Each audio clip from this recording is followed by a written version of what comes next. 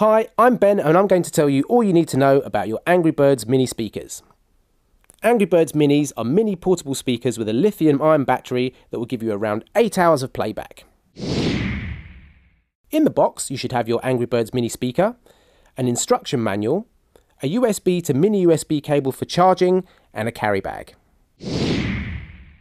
On the Angry Bird, there's a power switch to turn it on and off, a volume control dial, and a 3.5mm jack you can plug into your device. Also, a mini USB port so you can charge it, and an aux import. To open your mini speaker, just twist and pull out.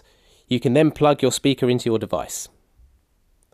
These speakers are really fun, but the coolest thing about them happens when you have more than one, because you can daisy chain as many Angry Bird speakers together as you like and play them all at once. For more information, go to gear4.com or join our Facebook family for the latest offers and the latest news.